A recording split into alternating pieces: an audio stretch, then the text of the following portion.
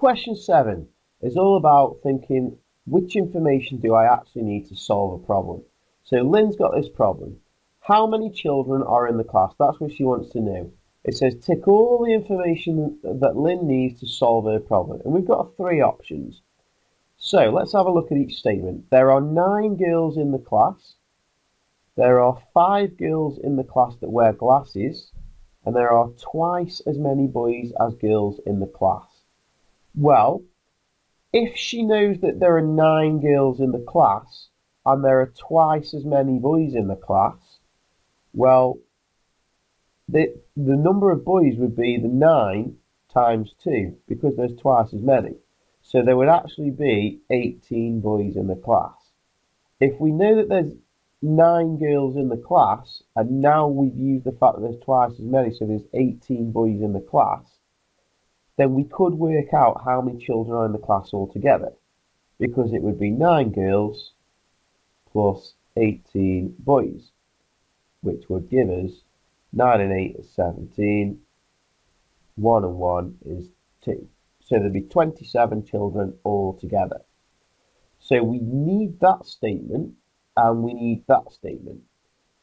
The other statement that says five girls in the class wear glasses doesn't really help us She's not interested in how many children wear glasses. She's interested in the total number of children in the class. In other words, the boys plus the girls.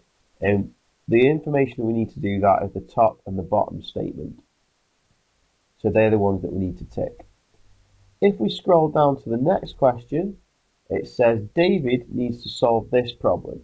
How much do two oranges and one apple cost? Tick all the information that David needs to solve his problem.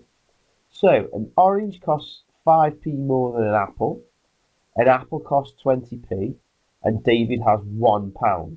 Well, he, he is asking how much do they cost. He isn't asking can he afford it.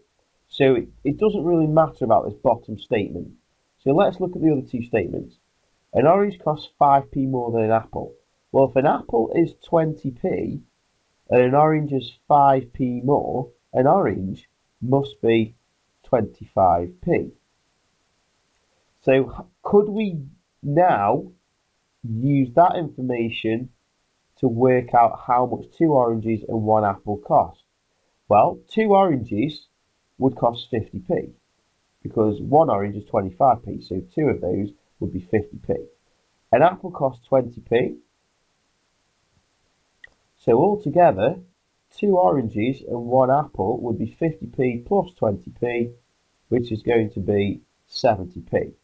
So we check the question again. David needs to solve this problem.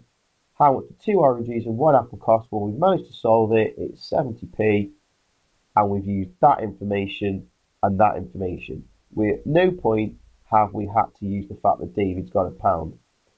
Best advice in this situation is to actually solve the problem and then decide which information you use to solve that problem. Just like we've done here, we've solved it, it cost 70p and we used these two bits of information. On the previous one, we've solved it, there was 27 children and we used the top and the bottom piece of information. Leave blank the bit of information that you don't need.